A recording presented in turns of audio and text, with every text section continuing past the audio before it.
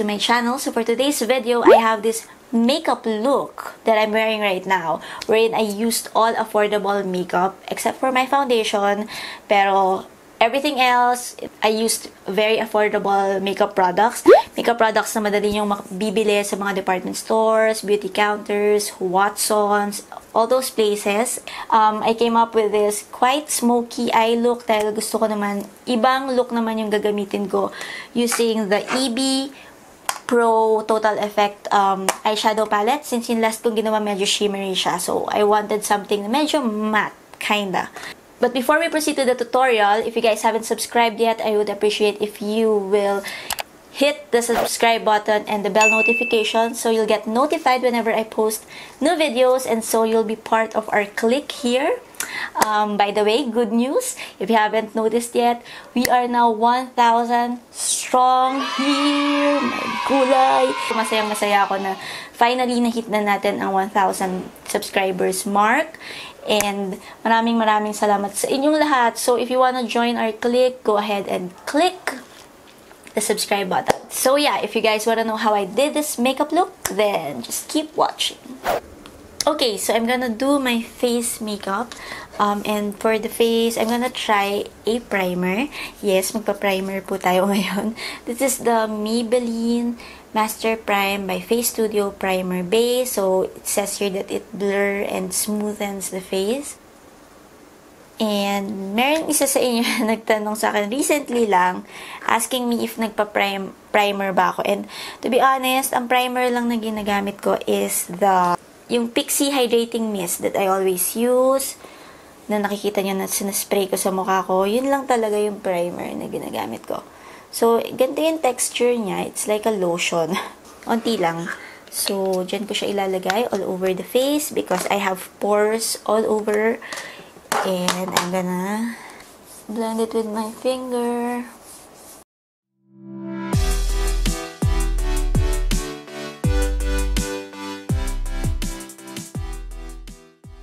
I've tried yung Maybelline Baby Skin. I think that's what it's called. Yung dati nilang primer. And sobrang oily niya sa face. So, hindi rin, hindi ko rin siya matagal ginamit. Kasi ayoko talaga nang nag-oil yung face ko. Mahirap kasi mag-blend ng foundation. This one though, um, you can feel na meron kang nilagay on the face. But it's not as oily, which I like. Unfortunately, I don't have a foundation na drugstore. So, for now, I'm gonna use itong aking Cover Effects foundation.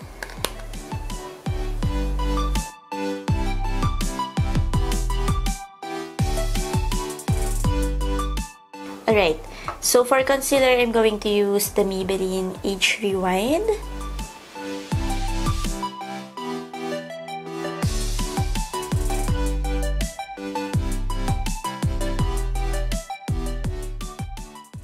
So to set my uh, concealer, I'm going to use my Nichido Final Powder.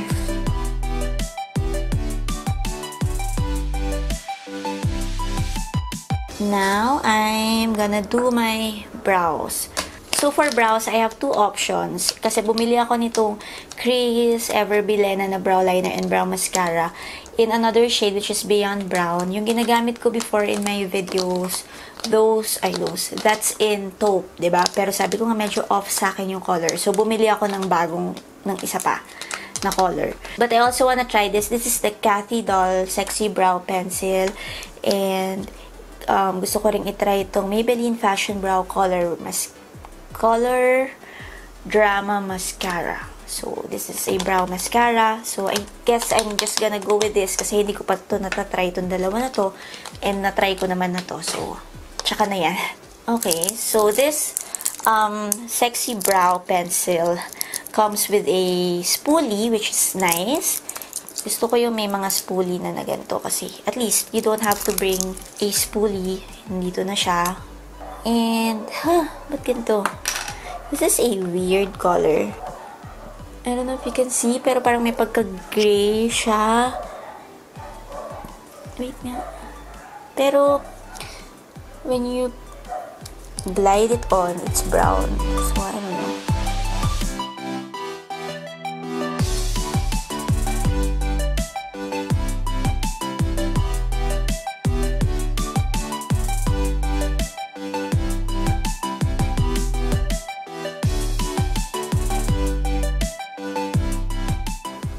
Okay lang naman yung color with my hair color. I think. Kung hindi man, alam nyo yan na I'm still going to use it.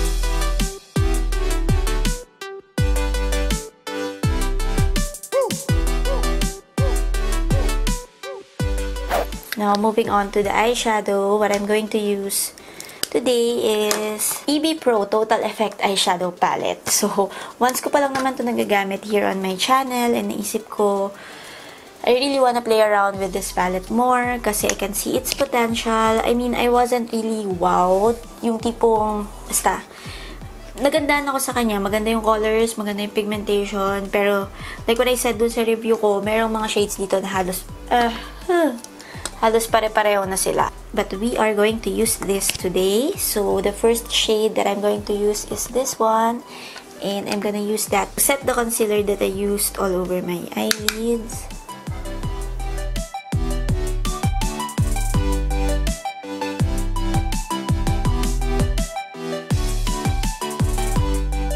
Okay, and then I'm taking this shade and I'm going to buff that on my crease.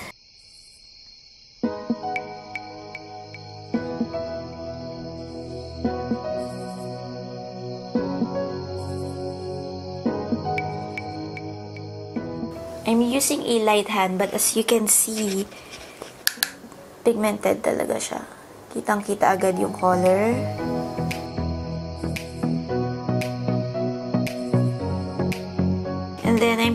This shade. It's more parang burnt orange na shade. And I'm also gonna put that on my crease.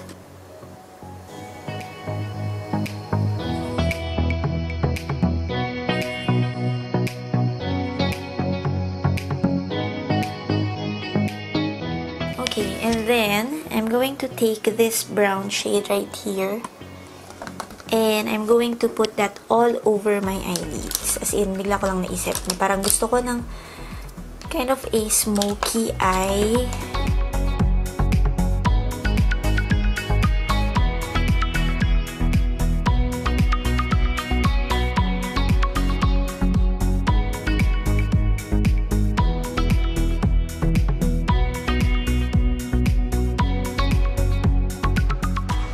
So I'm gonna darken that. I'm gonna deepen that color. I want it to be really brown.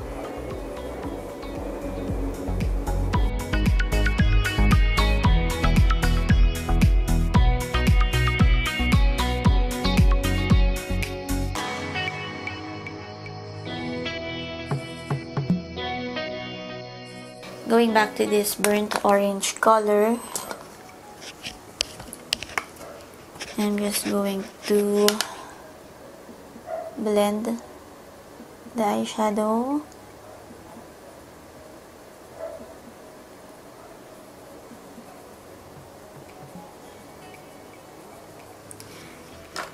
And then with a clean blending brush, I'm going to blend this part right here.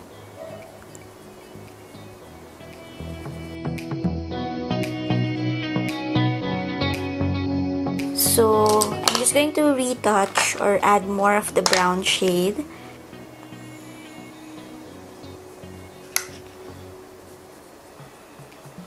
Then I'm also gonna drag that on my waterline.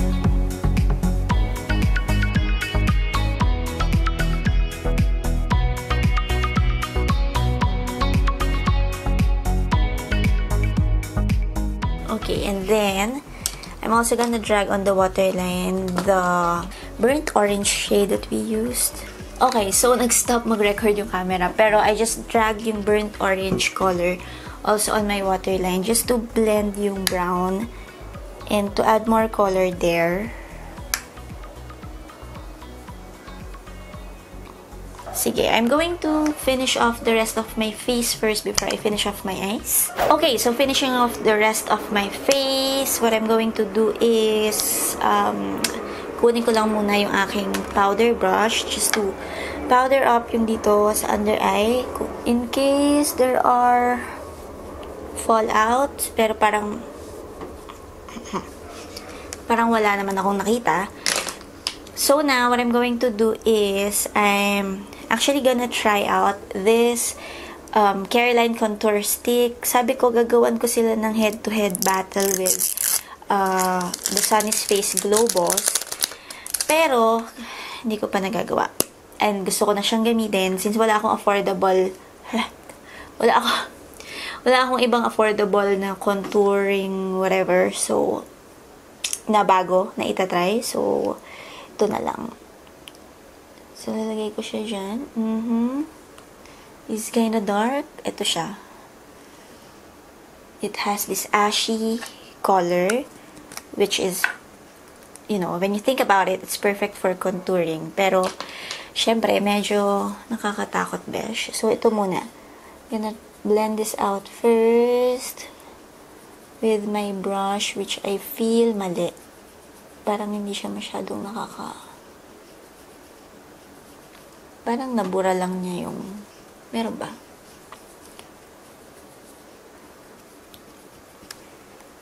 I'm gonna add more. So, hindi naman yata siya mabilis ma mag-dry. So, I think okay lang. Mag-add na tayo dito.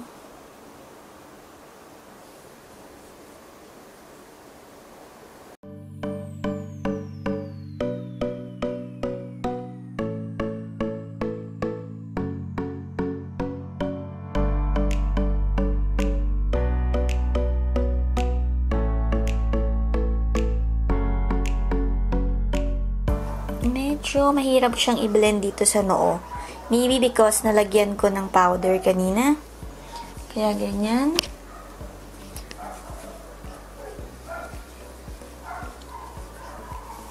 Nalagyan naman niya ng shadow yung aking face. So, I think it did its job. Though, I have to play around with this more to see if, you know, I really like it or not. Pero, so far, okay naman siya sa akin. Not bad. But, yeah, I have to put a powder, but later na pala. Um, before I put powder bronzer, or before I bronze my face, I'm going to try out this first. Ito yung peach stick naman nila. Yung kanila namang, um, what do you call this? Blush. If you've watched my Glow Boss review, you would know that I didn't like yung si Femme, the blush stick ng um, Sunny's Face. So, we'll see with this one kung magugustuhan ko siya. Grabe, nag-shed yung ano ko, brush ko.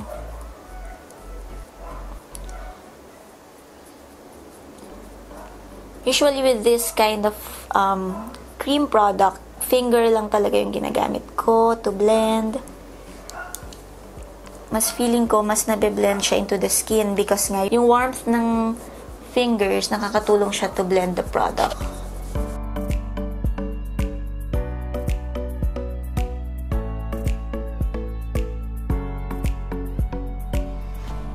You guys think? Can you see it? Parang hindi siya masyadong kita sa camera.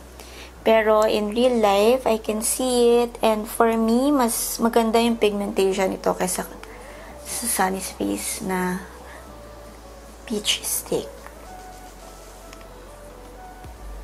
So, I'm going to set the bronzer and the blush, of course. And ito rin yung gagamitin ko. Itong palette na to. Kasi nga, parang it's something or you can also use sa face because of the pants, malalaki siya, and, you know, things like that. So, wait, I'm just going to get a bronzing brush. Okay, so, I'm gonna use this shade to bronze my face.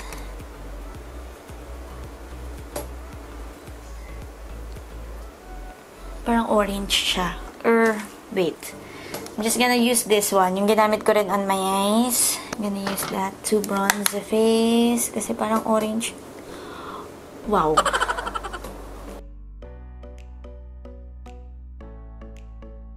Wait lang guys. Pe-blend ko yan, ha? So, I'm gonna take my stippling brush and blend.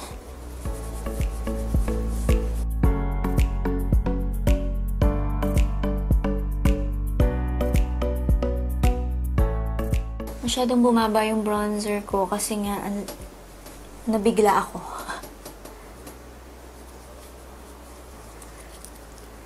So, I'm going to take my powder brush, get some powder.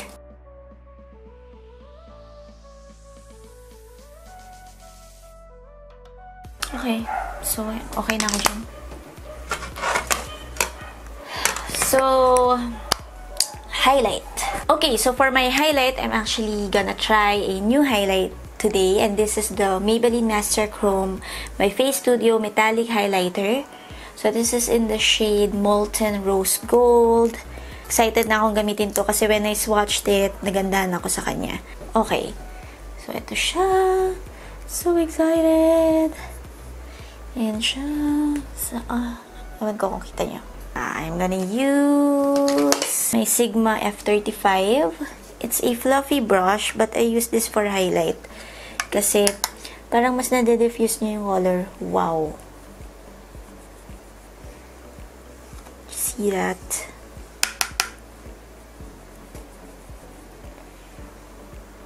Woohoo! Love this.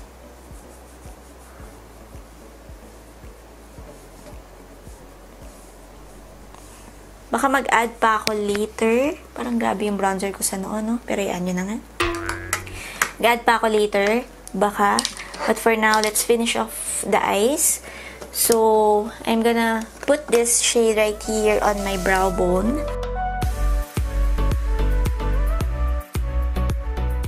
And then, I'm using this one on my inner corner as my inner corner highlight.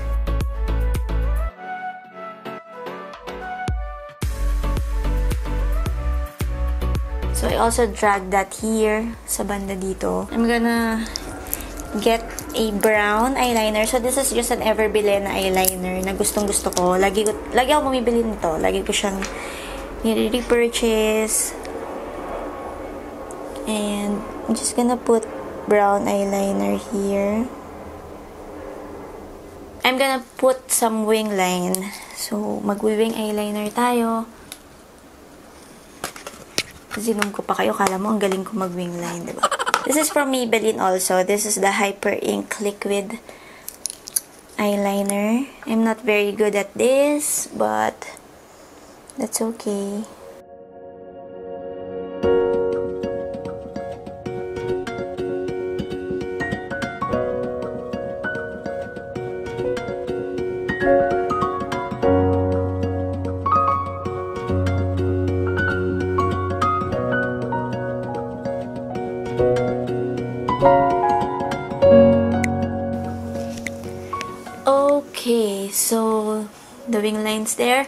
gonna do the same thing here on the other side pero off-cam na lang ha. Kasi mahirap siya best. So, I will be right back. And also with my lashes. Okay guys, so I'm just gonna add a bit more um, highlight because I want the face to be really, really, really glowy. So, add lang tayo.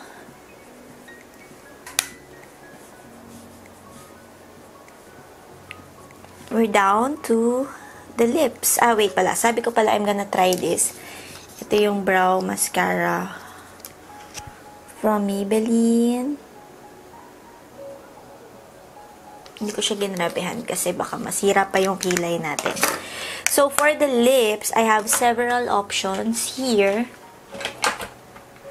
So, I have all these Everbilena lipsticks. Meron ako nung liquid matte matic lipstick in light. And then no life. I also have the lipstick mismo in life. And then I have this lipstick in loyal. And itong dalawang liquid lipstick nila in rouge berry and sexy nude. And with this look I think a nude shade is the perfect choice I think. So let's try this. This is again in sexy nude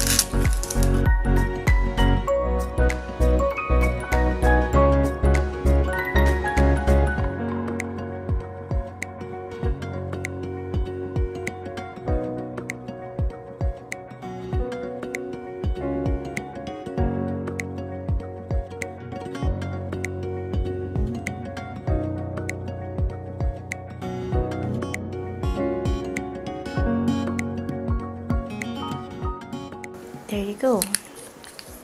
And we're done.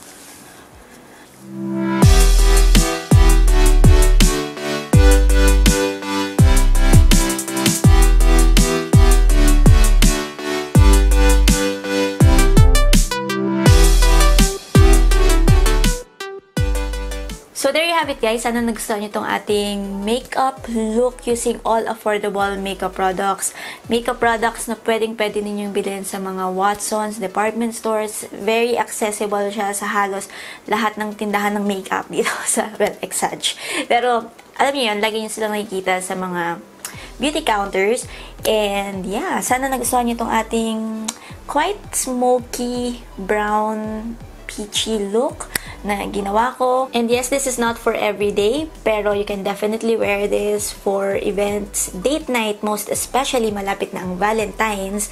So, itong look na to, let's just treat this as the first Valentine's Day look na pwede ninyong gawin for your date night with your special someone or with your girlfriends, ganyan, for a night out. Perfect yung gantong mga eye look, ba? Diba? So, yun. Sana nagustuhan niyo itong makeup look natin in this video today. And before I end this video, I would just like to take this opportunity to thank each and every one of you na nag-subscribe sa aking channel. We are now 1K strong. Kaya gusto ko magpasalamat sa inyong lahat sa pag-subscribe sa channel ko. Maraming maraming salamat sa suporta. Again, kilala ko kayo, lahat ng mga madalas mag-comment, lahat ng nagiiwan ng kind words, words of encouragement, or ng advice, ng tips, ng suggestions. Kayong lahat I know who you guys are and na-appreciate ko talaga kayong lahat and maraming maraming salamat. Malaking bagay sa akin tong 1K because I think ito na yung parang pinaka milestone ko in my YouTubing um, life. Kasi nga, alam nyo naman na mahirap makarating dito, especially on my part na medyo matagal na akong gumagawa ng videos, but you know, I've waited so long for this moment and finally it's here. So I'm really, really, really, really thankful sa inyong lahat for supporting my channel and for being here with me. You guys are amazing and yeah, thank you. And thank you, Lord, for making this happen talaga. You know, this is God's perfect timing. Siguro hindi niya to ginawa before pa, years ago, because He wants me to learn something. And that learning being that if you really want something, you have to work for it. And you have to be committed. You have to give your 100%. And of course, you have to dedicate it to the Lord. Kasi, siya naman, He will make things possible for you. So, if you do it for His glory, like for example, me using my talent to create looks, kahit na hindi pa ako ganun kagaling, I practice.